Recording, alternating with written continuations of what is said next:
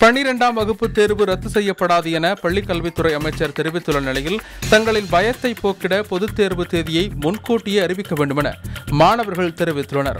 கடந்த ஆண்டு கொரோனா தாக்கம் காரணமாக பள்ளிகள் மூடப்பட்ட நிலையில் ஆன்லைன் வகுப்புகள் மட்டுமே நடைபெற்று வந்தது. கொரோனா தாக்கம் குறைந்து பள்ளிகள் திறக்கப்பட்ட சில நாட்களிலேயே கொரோனா இரண்டாம் அலை வீசியதால் மீண்டும் பள்ளிகள் மூடப்பட்டன.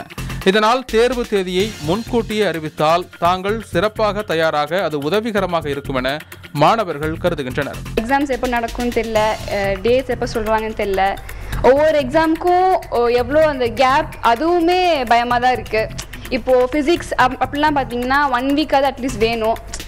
ஆனால் அங்கே தான் ட்விஸ்ட் வைப்பாங்க. ஒரு நாள் தான் கொடுப்பாங்க. இதுக்கு என்னைக்கு எக்ஸாம்னு தெரில இப்போ எக்ஸாம் வந்துட்டு இப்போ நாளைக்கு வைக்கிறேன். இது ஒரு ஒரு வாரம் வைக்கிறாங்கன்னு வைங்களேன். அப்போ இருந்துட்டு எங்களுக்கு சொன்னால் இருந்துட்டு ஐயோ எக்ஸாம் வருது அப்படின்னு கொஞ்சம் பயத்தோடய எழுதுகிற மாதிரி இருக்கும். இப்போ எக்ஸாமுக்கு முன்னாடி ஒரு டுவெண்ட்டி டுவெண்ட்டி ஃபைவ் டேஸ்க்கு முன்னாடி சொன்னாங்கன்னா நாங்கள் வந்துட்டு ப்ரிப்பேர் ஆகிறதுக்கு கொஞ்சம் எங்களுக்கு ஈஸியாகவும் இருக்கும்.